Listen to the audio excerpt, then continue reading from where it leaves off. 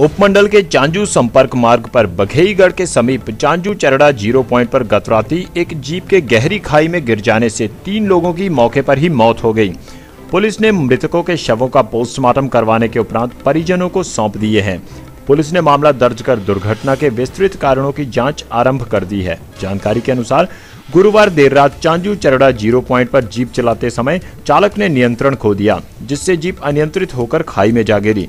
परिणाम स्वरूप इसमें सवार उपेंद्र पुत्र खेमराज टेकचंद पुत्र प्यार सिंह, निवासी गाँव लेसुई और बिट्टू निवासी गाँव चुखड़ा की मौके पर ही मौत हो गई।